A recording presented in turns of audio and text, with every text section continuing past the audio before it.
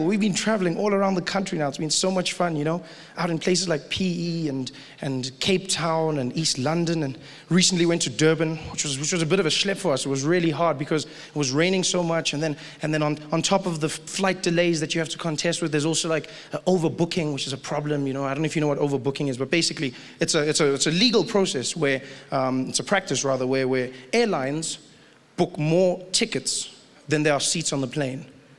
So they book more, sort of like a taxi. but then they don't let you get on when you get there. So they just hope you don't pitch up. He's like, please, please. ah, yeah. Like, you know, that's what they do. And so we, we flying down to Durban, and it was the funniest thing ever. We're standing in the queue, everyone's all fidgety in the line, looking at their watches, and they call us forward. They're like, next, next, please, next, next, next. So we go to the counter, and there's one of those women there with her glasses and her relaxed hair, and she's there. And then she's like, uh, can I have your ID, please? And you're like, IDs, everyone puts them down. She's like, where are you flying? And we're like, uh, uh, Durban, please. She's like, Durban.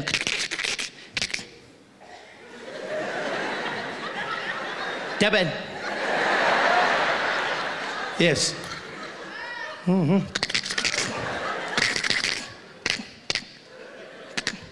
Are you flying now?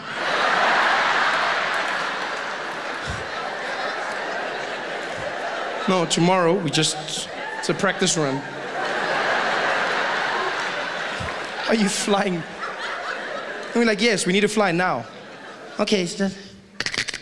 And then she starts typing frantically.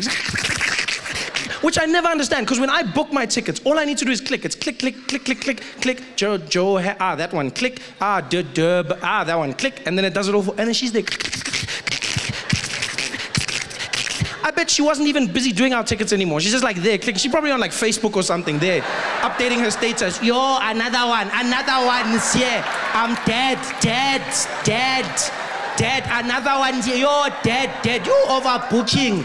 Dead, dead. Oh, poke back. Dead, dead. You dead. Death by overbooking. Yo.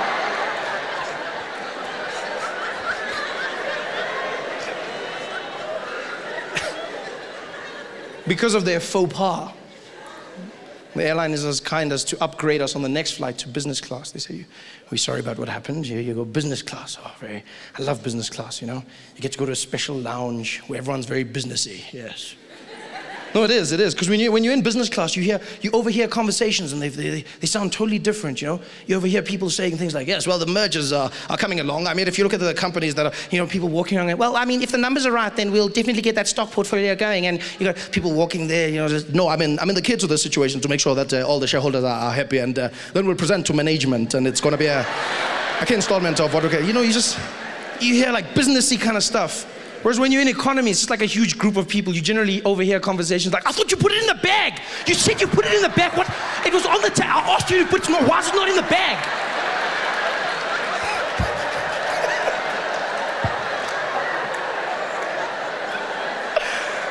oh, wow.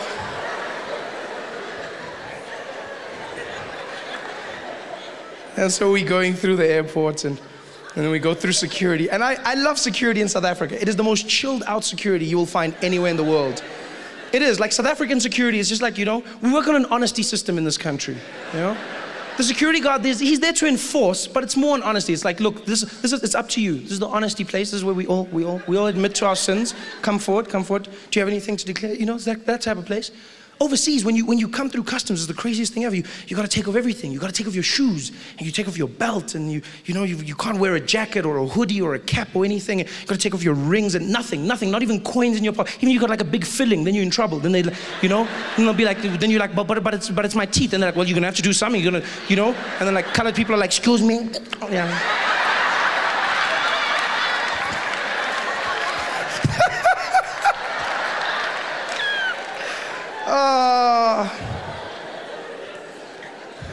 That's crazy. Whereas in South Africa, I sometimes feel like these security guards don't actually know what their equipment does. You know, they're very chilled out about it. Because you walk through at airport security and you get there and the guy will be like, eh, code number four, number four. And then you go through and you stand there and the guy will be waiting. He'll give you that bucket and he'll be like, what's in the bag? Like, what, what do you mean? The, he's like, is there a laptop? yes. Out, out. Take it out. Laptop out. out. Please, yeah, put it by itself. Nah, put there, yeah.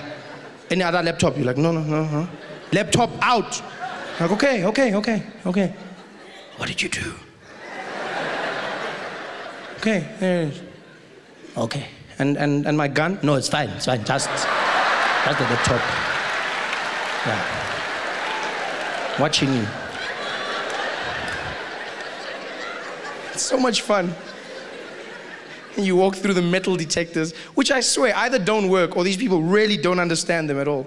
You walk through metal detectors, and it's not just at airports, no matter where they are in this, in this country. You walk through a metal detector, a casino, a school, government institution, you'll walk in there, and then it'll, it'll just it'll make that sound, but then I don't know if they know what that means. Because you walk through and be like,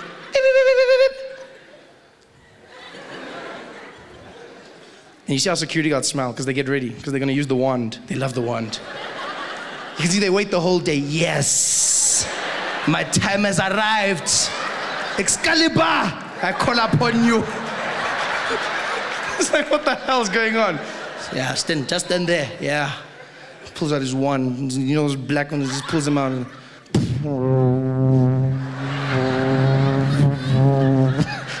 okay, it's not. I'm sorry, I'm just. doesn't, doesn't really do that. It would be cool if it did though. Although it would be weird, it would be weird. You know, for like some guy from the township to have a lightsaber.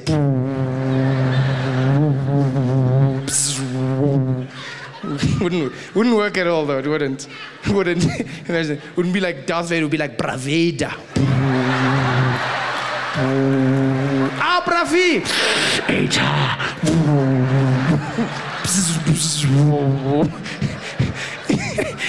It would have been the worst Star Wars ever if it was in South Africa, wouldn't it? Like the critical point, the, the, the moment that made the movie would never happen if it was in a township in South Africa. Because which guy from the township would claim a child after that many years? Guy would be like, look. Yes, what is it? No, look there. It's your father.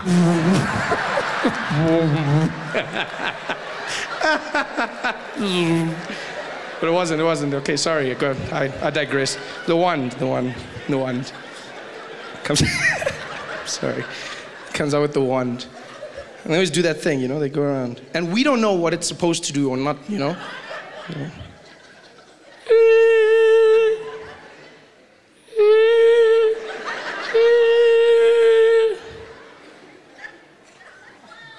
Any weapons? what was that for? Even if I had something, I'm not gonna tell you now. Obviously, you have been defeated. Any weapons? No? Oh, okay. And that's it. We like work on the honesty system in this country.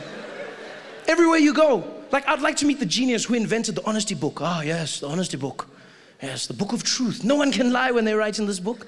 Whenever you visit someone at a townhouse or office complex, we have the book of truth. Fill in the book before you enter. Name, ah, yes. Surname, phone number and address. Reason for visit, PVT. Go just do that. Look at everyone else. PVT, PVT, PVT, PVT. PVT. And once I asked the security guard, I was like, what's the point of this? Why am I, why am I filling in this book? He's like, no, it's for security reasons. Says, I figured that much, but what is, what is it about? It's like, it's so that if you can do anything bad inside there, if maybe you can steal or kill someone, then we can find you. ah, of course. Because I wrote my real name and surname. The honest killer strikes again. it's just ridiculous. I was like, okay, and then I kill someone, and then what are you gonna do? It's like, then you sit there, we can just phone you and tell you must come back. Yeah. Same time. Hey guys, thanks for watching.